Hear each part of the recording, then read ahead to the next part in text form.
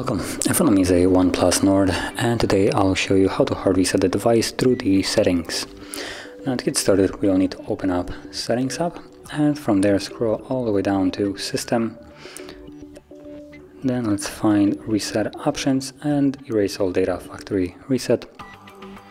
It also gives you an option to erase internal storage so um, let's also check that on. That will include music, photos, videos and other personal data.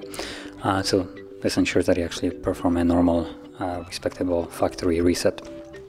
So uh, based on that also you can gather that all data will be lost. So if there's something that you might want, might want to keep, then you will need to back it up before you begin. Otherwise it will be lost permanently. But assuming you have done it or you don't want to back it up, tap on erase all data, confirm.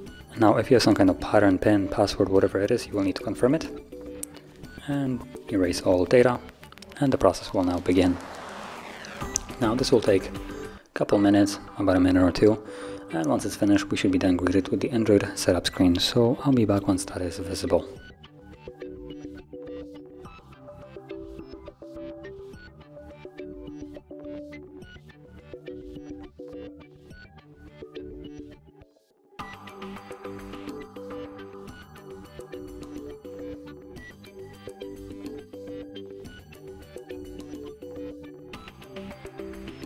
And as you can see now the process is finished and you can set up your device as however you like. So if you found this very helpful, don't forget to hit like, subscribe and thanks for watching.